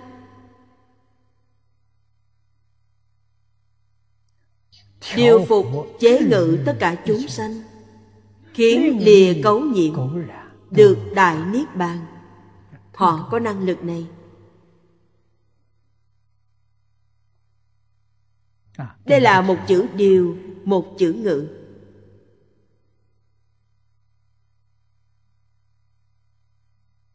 họ giảng kinh thuyết pháp nói những đạo lý này. Khi ta nghe xong có thể tin có thể hiểu pháp hỷ sung mãn.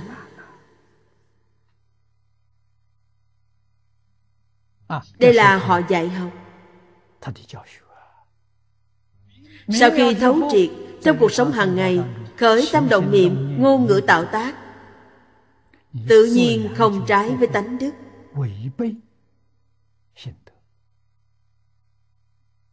đây là ngự nghĩa là ta có thể khống chế ta có thể kiểm soát bản thân mình đây không phải nói người khác mà là kiểm soát hành vi của chính mình.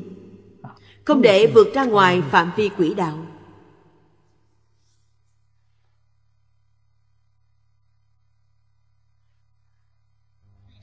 Nếu dùng tứ đức trong hoàng nguyên quán để nói điều nghĩa là tùy duyên diệu dụng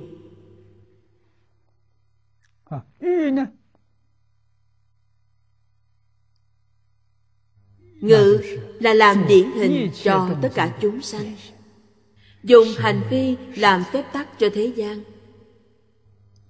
Hoặc dùng hành vi làm điển phạm cho thế gian. Đều có thể làm gương tốt cho người thế gian. thế gian này là mười pháp giới. Không những là lục đạo còn làm gương cho tứ thánh pháp giới.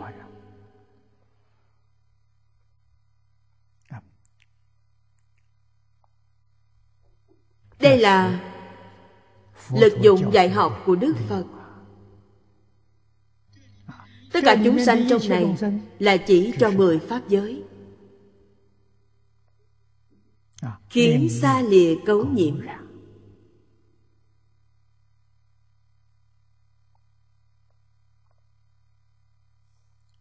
hai chữ phiền não là đại danh từ của phiền não.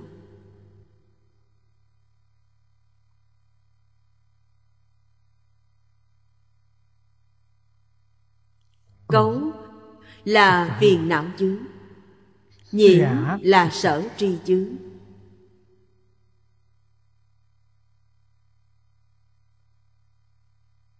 quý vị biết quá nhiều thứ cũng tạo thành chướng ngại. Những thứ này bây giờ gọi là tri thức. Quý vị xem trong phật pháp nói chuyển thức thành trí.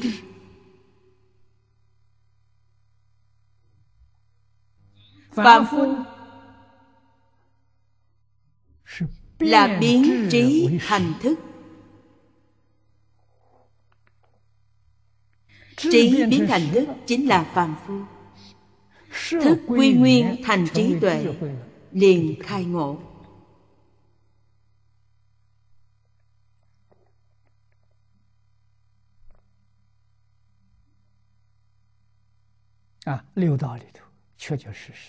Trong lục đạo đích thực trí tuệ hoàn toàn biến thành tri thức. Biến thành phiền não. Trong phật pháp nói chuyển phiền não thành bồ đề. Cho thấy phiền não và trí tuệ là một không phải hai. Chỉ là mê và ngộ khác nhau. Giác ngộ. phiền não tức là trí tuệ. Mê trí tuệ liền trở thành phiền não.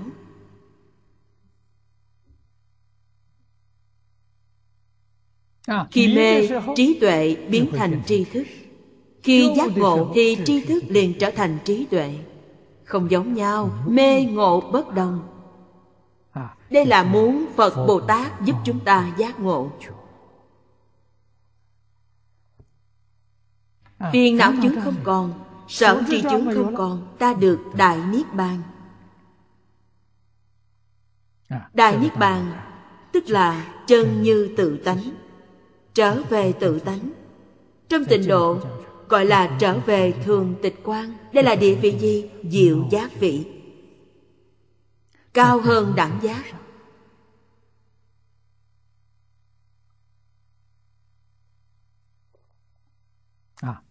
Trở về thường tịch quan công đức chúng ta được viên mãn.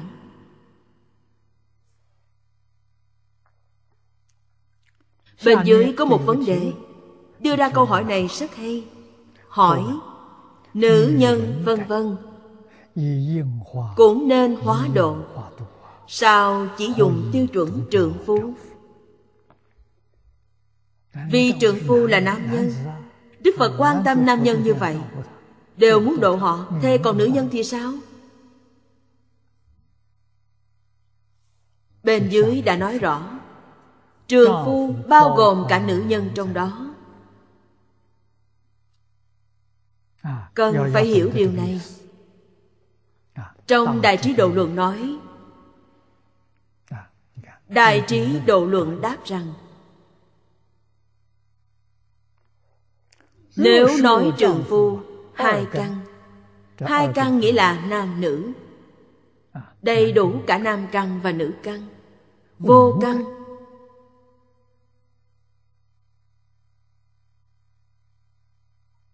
yếu sinh lý là thiên nhiên tự nhiên. Hiện nay chúng ta nói là khiếm khuyết bẩm sinh.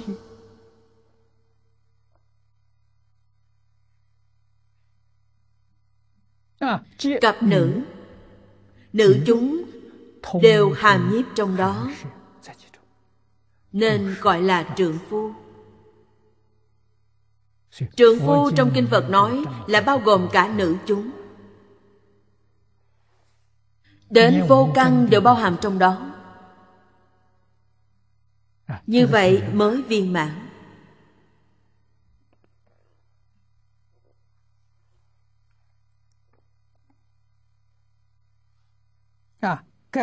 Gọi là trượng phu tức đại khai nhiếp cả phụ nữ vô căn và nhị căn vân vân.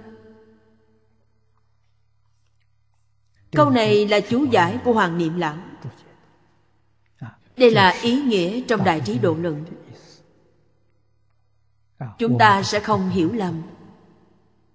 Trong phật pháp rất bình đẳng. Phật pháp tuyệt đối không có trọng nam khinh nữ. Chúng ta thấy nữ giới. Trong giới kinh hình như là không bình đẳng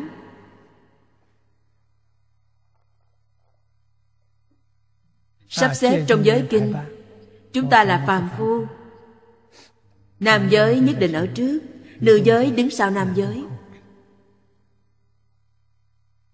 Giới tỳ kheo có 250 điều. Giới tỳ kheo ni có hơn 300 điều. Vì sao nhiều hơn như vậy? đây là tùy việc mà xét. Nguyên nhân là gì thông thường nữ giới tình chấp sâu nặng hơn. cho nên khi đức phật dạy nữ giới cũng nghiêm khắc hơn.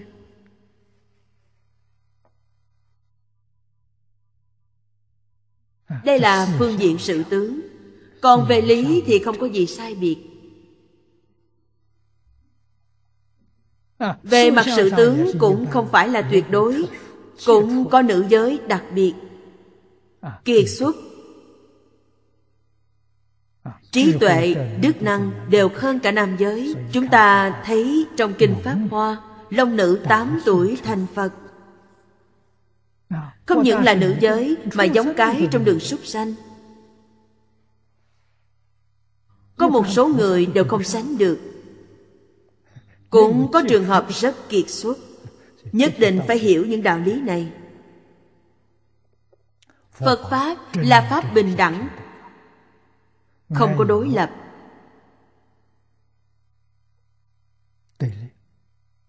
Không có đối lập mới thật bình đẳng. Quý vị xem, từ sơ tính trong thập tính, không còn ý niệm đối lập này. Như vậy chúng ta biết được, đức phật giáo hóa chúng sanh là dùng pháp phương tiện phương tiện thiện xảo giúp chúng ta đoạn trừ những tập khí từ vô thị kiếp đến nay. tập khí phiền não. Phải dùng những phương pháp này. Tập khí phiền não không còn. Pháp này không dùng đến nữa. Không dùng đến. nhưng phật pháp vẫn coi trọng như thế. Không dùng đến vẫn coi trọng như vậy. đây là vì sao là biểu pháp để cho hàng sơ học nhìn thấy. Nếu chúng ta phế bỏ hết những điều này người sơ học nói chúng ta cần gì phải học nó? dùng ý chính là như vậy. Phải thường nghĩ đến có nhiều kẻ sơ học phải làm gương cho họ học tập. thể hiện ra cho họ thấy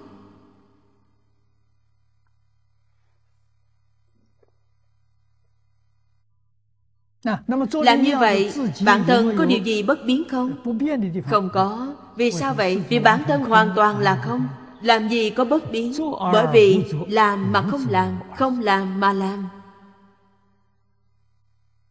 là tự nhiên trở thành tự nhiên không có dấu vết tạo tác không thể tìm thấy đây chính là đức năng của bồ tát chúng ta xem tiếp đoạn dưới. Thứ chín thiên nhân sư.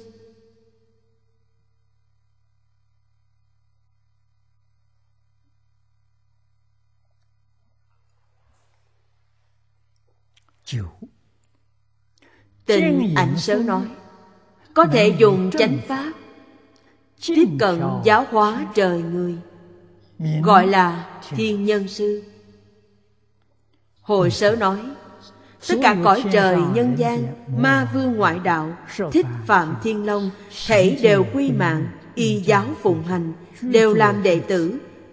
Nên hiệu là thiên nhân sư. Đức hiệu này Phạm vi của nó nhỏ hẹp hơn Chỉ giới hạn trời người trong lục đạo.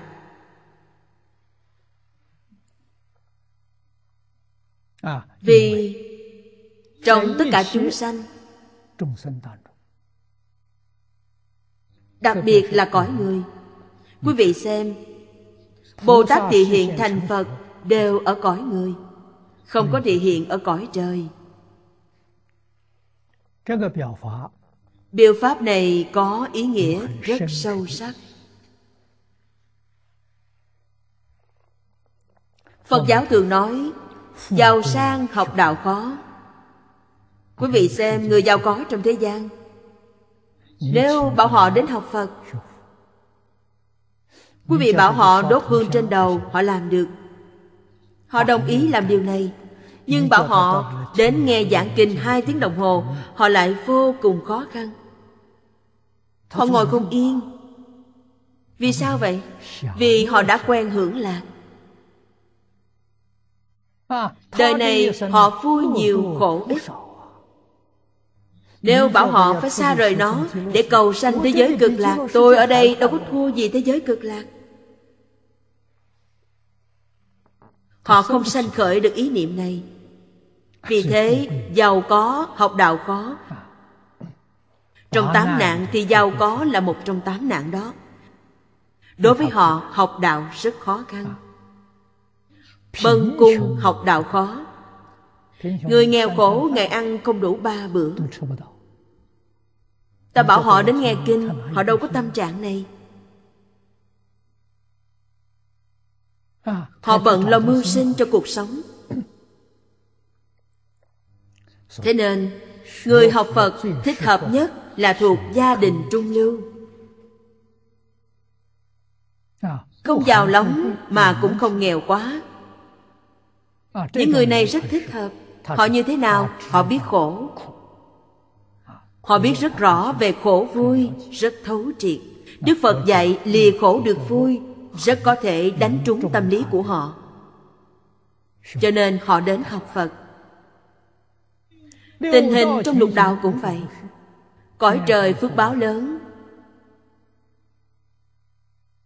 Nên thiên nhân học đạo cũng khó. Đúng vậy không dễ. Đặc biệt là nói về tịnh độ rất khó tiếp thu.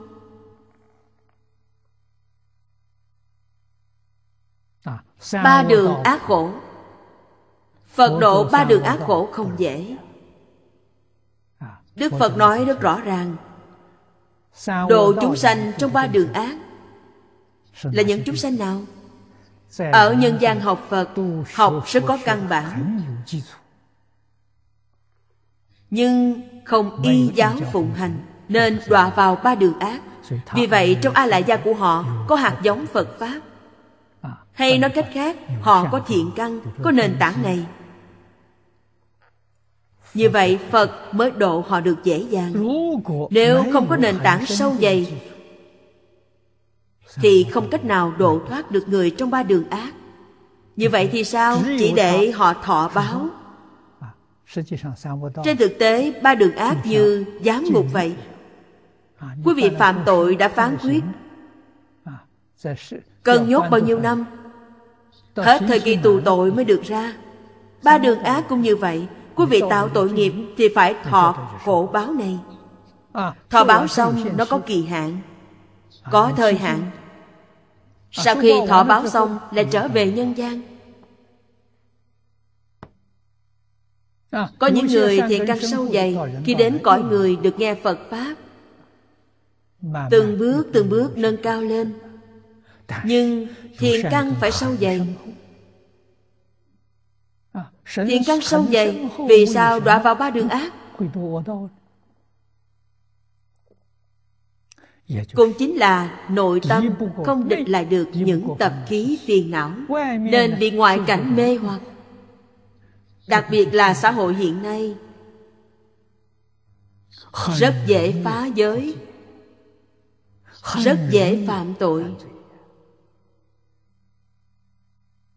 Mở giới kinh ra xem Đều là đọa vào ba đường ác. Vì vậy mà đọa. Nhưng khi ở thế gian Họ có thời gian dài tu học Phật Pháp Nên nền tảng này rất dày. Phật Bồ Tát ở trong đường ngạ quỷ Trong đường địa ngục, đường súc sanh Đều độ được họ.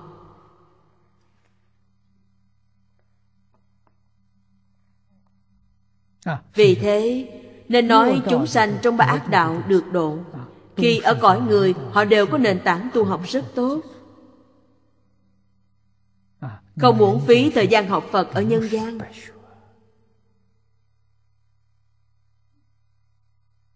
Đôi lúc làm sai Bị đọa vào ba đường ác Bồ Tát vẫn quan tâm họ. Đệ tử Phật môn không bỏ một ai. Thật từ bi vô tận vì thế Đức Phật được gọi là Thiên Nhân Sư.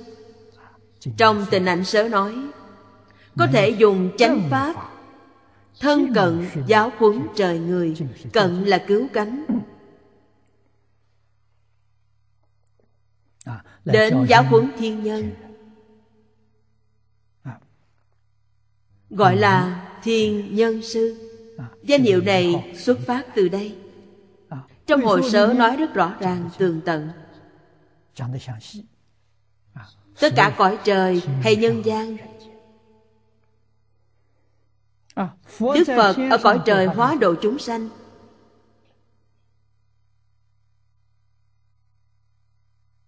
Chỉ nói đến trời sắc giới. Không có trời vô sắc. trời vô sắc giới gọi là trường thọ thiên một trong tám nạn. Trong tám nạn này phật không thể độ được họ. Họ không tiếp thu. Trời tứ không?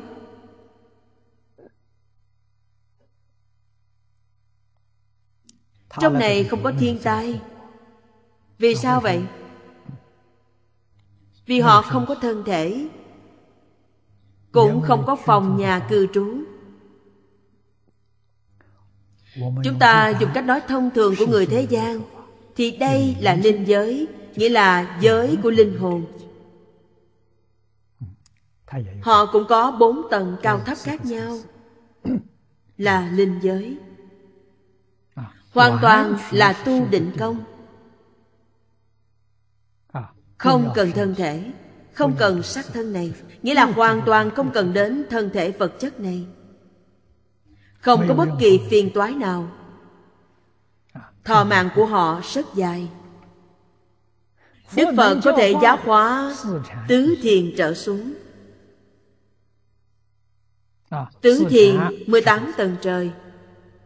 Thêm 6 tầng trời của dục giới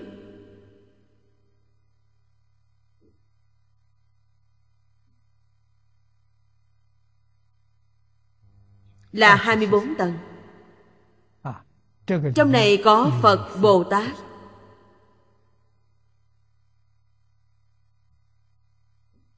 Bồ tát có thể hiện thân bồ tát. Thì hiện thân chân thiên để giáo hóa thiên nhân.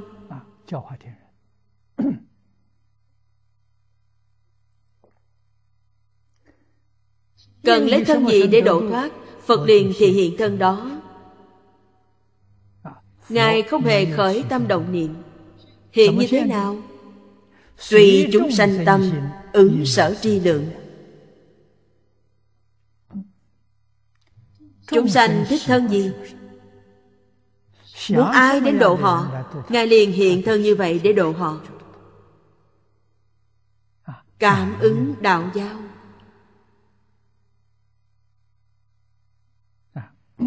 ngày nay chúng ta khởi tâm động niệm nghĩ đến phật bồ tát các ngài có đến không? Đến. Ở đâu? Khi ta nghĩ đến các ngài các ngài ở ngay trước mắt. Vì sao? ta không nhìn thấy được? Vì tập khí phiền não của chúng ta quá sâu nặng đã ngăn che không cho chúng ta thấy. Không phải họ không đến. Họ đến nhưng ta không nhìn thấy họ thấy chúng ta chúng ta không thấy họ. Nguyện cầu của chúng ta hy vọng phật bồ tát gia hộ họ thật sự gia trì. Nhưng nếu chúng ta tạo ra ác nghiệp họ cũng đành chịu. Vì sao vậy? không giúp được. Đến khi nào thì mới giúp được. Khi nghiệp chứng tiêu trừ cảm ứng của sự nguyện cầu của chúng ta liền hiện tiền. Điều này trước đây chân gia đại sư đã nói với tôi. Đại sư nói, đệ tử phật môn có cầu tất ứng. Nói đến điều này, thật như vậy tuyệt đối không phải giả. Chúng ta muốn cầu rất nhiều, nhưng đều không có cảm ứng, không cầu được. Đại sư nói, không phải cầu không được, là do ta có nghiệp chướng sáng trừ nghiệp chướng. tất cả những mong cầu của ta đều xuất hiện. Trong phật pháp gọi là thời tiết nhân duyên. Thời tiết nhân duyên này là tự mình quyết định. Tự mình tạo nên. Vấn đề không phải ở bên ngoài. đúng vậy. ứng với câu nói của cổ nhân hành hữu bất đắc phản cầu chư kỷ toàn là tự làm tự chịu. Nếu chúng ta oán trời trách đất nói phật bồ tát không linh tổ tông không gia hộ đó là tạo nghiệp. Làm gì có chuyện tổ tông không yêu thương đời sao không có đạo lý này. đâu có chuyện phật bồ tát không từ bi. Bản thân tạo ra nghiệp chướng đã khiến sức gia trị của người ta không gia trị được bị nghiệp chướng của chúng ta kháng cự. Đạo lý là như vậy. Nên khi cầu không được chúng ta cần phải phản tỉnh xem. Chúng ta cần phải tu sám hối. Sám trừ nghiệp chướng. Những sở cầu của mình liền được mãn nguyện. Phải thực sự sám trừ không phải trước phật bồ tát quỳ xuống cúi đầu đốt hương cầu nguyện. Sám trừ như vậy không hiệu quả. Phải sám trừ từ đâu? Sám hối từ trên tâm địa của chính mình. Sám bằng cách nào? Chuyên gia đại sư dạy về sau không tạo nữa? Đó mới gọi là chân sám hối. Đã sám hối xong ngày mai bệnh cũ lại tái phát. Như vậy không được. Nó sẽ không mang lại sự cảm ứng. Phải giác ngộ. Phải thật sự quay đầu.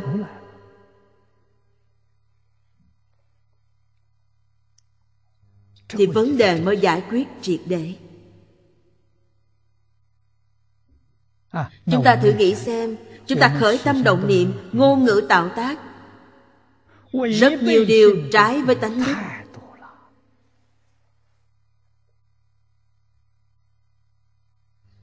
Chúng ta suy nghĩ tường tận. Dùng tiêu chuẩn của truyền thống xưa. Hiếu đã làm được chăng? Hình như là làm được. thật ra còn kém xa tiêu chuẩn này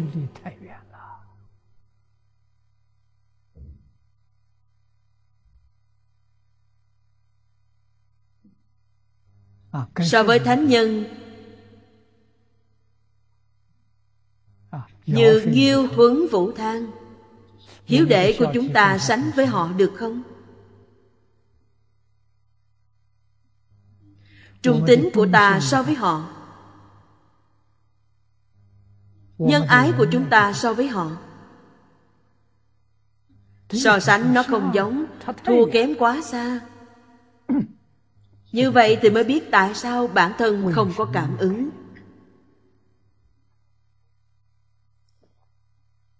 Dùng phật pháp dùng tiêu chuẩn của phật pháp là thập thiện nghiệp đạo.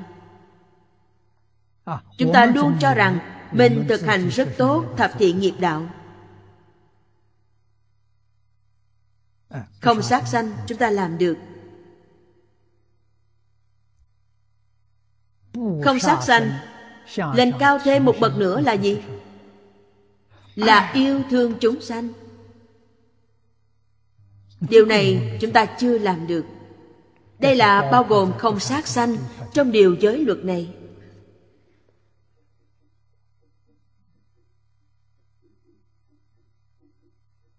Yêu thương chúng sanh, quan tâm chúng sanh, thành tựu tất cả chúng sanh hoàn toàn ở trong giới cấm này nên triển khai giới cấm này là tám vạn tế hạnh. Xem bên ngoài thì tương đối, nhưng nhìn vào trong tế hạnh, chúng ta biết là thua xa. Làm sao có thể sánh với bồ tát?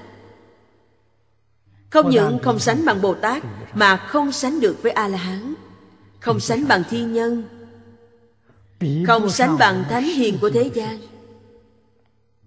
vậy thì còn gì để nói nữa?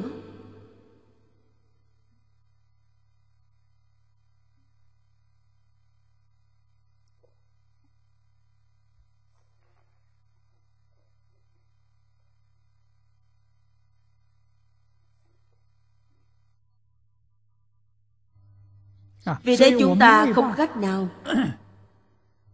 Bản thân mình chưa làm tốt Thì làm sao có thể dạy người khác? Dạy người khác họ cũng không nghe không có cách nào khác. hai chữ điều ngự là tiêu chuẩn của dạy học. Phải khiến cho người thọ giáo tâm phục khẩu phục. Khâm phục tuyệt đối. Nghĩ lại chúng ta tâm thái lúc chúng ta thân cận thiện tri thức. Xem lại bây giờ chúng ta dạy người khác. Người ta có tâm thái này không? Không tìm thấy.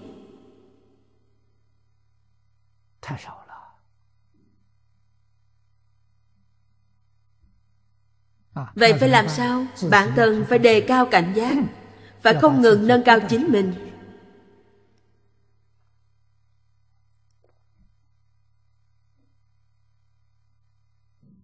Bản thân nâng cao đến trình độ nhất định. Có học sinh nào đến không? Có.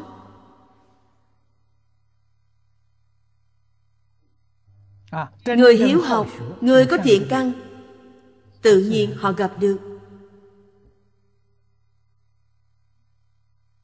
Không có niềm tin này Không có nguyện này Thì Phật Bồ Tát ở ngay trước mắt cũng vô dụng Bỏ lỡ qua ngay trước mắt. Đức Phật Thích Ca Mâu Ni đã thị hiện cho chúng ta thấy đương thời ở đại thành xá vệ. Đại thành xá vệ có 10 vạn cư dân. Lúc đó 10 vạn dân là đô thị lớn. Đức phật ở đó giảng kinh thuyết pháp thời gian rất dài. Chúng ta biết cuộc sống của ngài là ngày ngày ra đi khất thực nên đường lớn ngõ nhỏ ở đó ngài đều đi qua.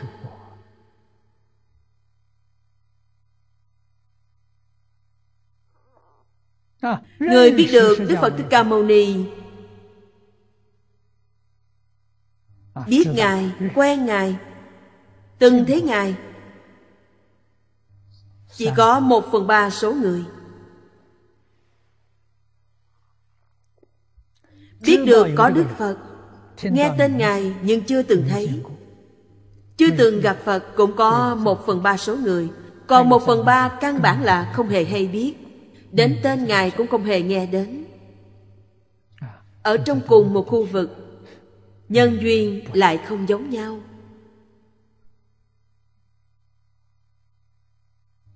Bởi vậy nỗ lực nâng cao cảnh giới của chính mình quan trọng hơn bất kỳ điều gì. Rộng kết pháp duyên với tất cả chúng sanh điều này quan trọng. Hiện tại có người đến học hay không? Không quan trọng. Có người được độ không cũng không quan trọng. Nâng cao cảnh giới chính mình mới quan trọng. vì sao vậy? Vì bản thân thành tựu. Ta có thể quán cơ. Quán cơ là gì? Tức có túc mạng thông, có tha tâm thông. Người này đời đời kiếp kiếp ở trong đường nào?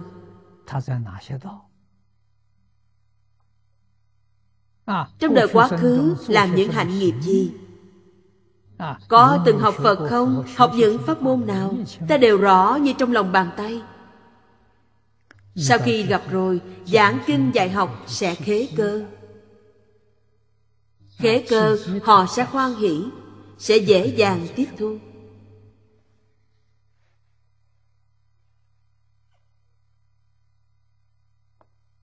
Từ đó cho thấy chúng ta tự học với hóa tha. Tự học là chủ yếu. Hóa tha là thứ yếu. Thực tế mà nói, hóa tha nghĩa là kết pháp duyên.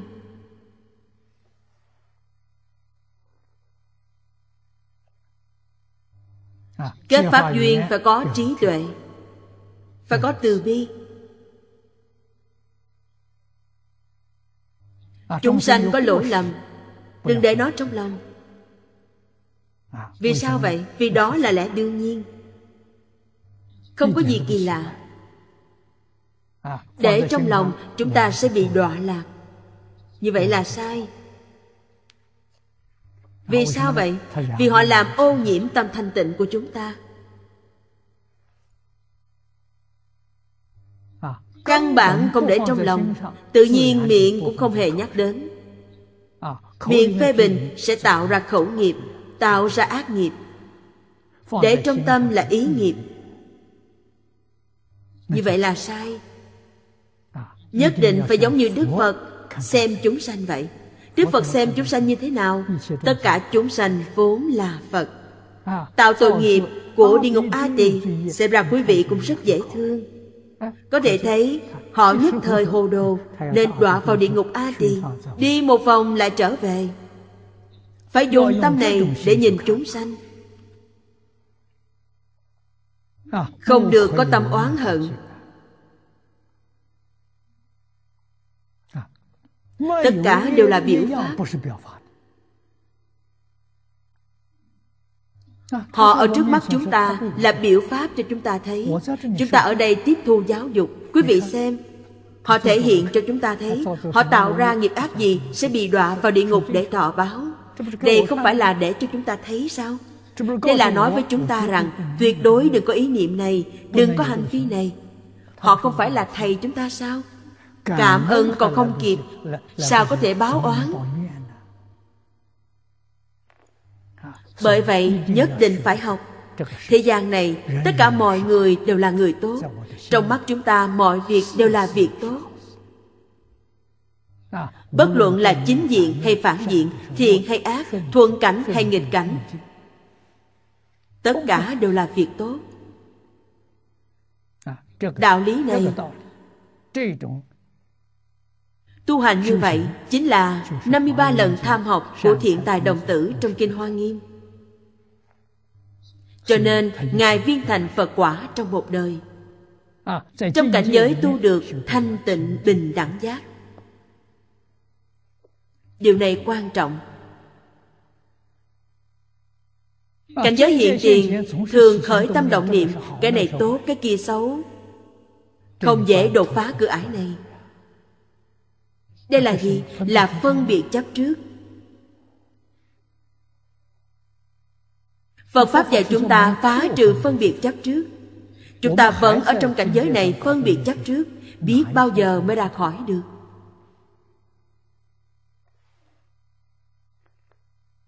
Khi học Hoàng Nguyên Quán, Học được một bản lĩnh, Quy tất cả Pháp về với con số không. Tức Hoàng Nguyên. Trở về số không là trở về tự tánh.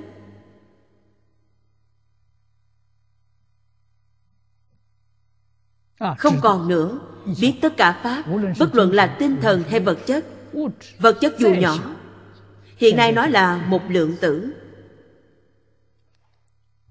Đều đầy đủ viên mãn thể của ngũ ấm.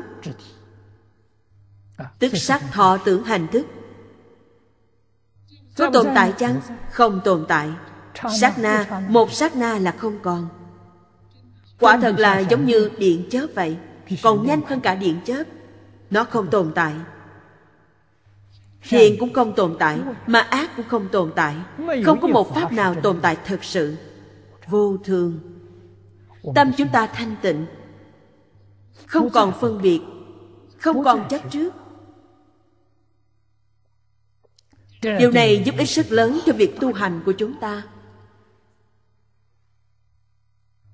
Đây gọi là nhìn thấu Hiểu rõ chân tướng của tất cả Pháp.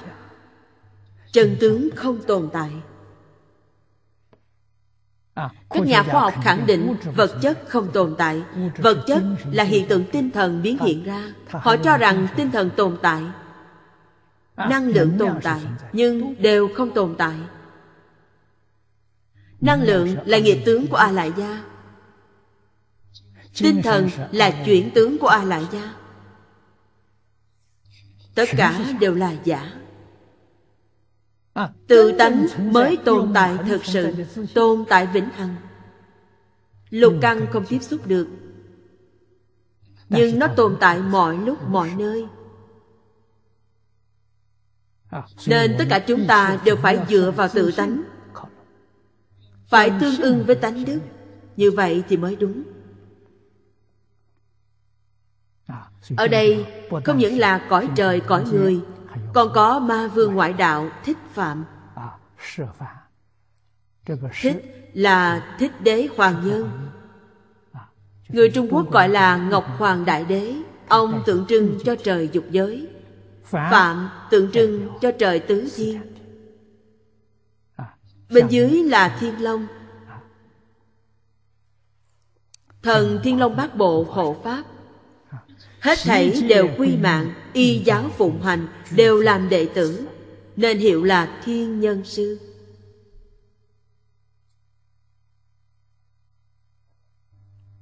Đức phật vĩnh viễn ở địa vị thầy giáo. xuất hiện ở thế gian. Hợp tán lại nói tuy chư phật vì tất cả chúng sanh mà làm vô thượng đại sư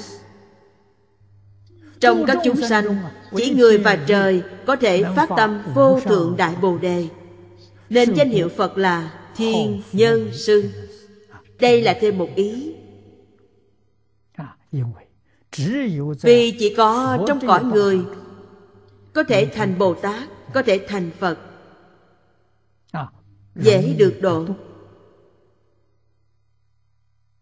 À, pháp môn phương tiện nhất là pháp môn tịnh độ gặp được pháp môn tịnh độ, hiểu rõ ràng, nhất tâm niệm phật, không có ai không được độ. Vãng sanh lập tức thành phật. Thật không thể nghĩ bàn. Hết giờ rồi, hôm nay chúng ta học đến đây.